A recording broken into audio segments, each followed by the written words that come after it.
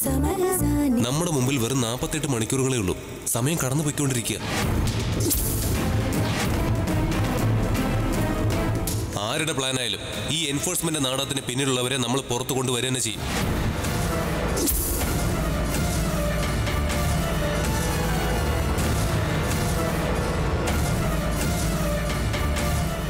ഇന്ന് ഉച്ച കഴിഞ്ഞ് മൂന്ന് മണിക്ക് പൗർണമി തിങ്കൾ.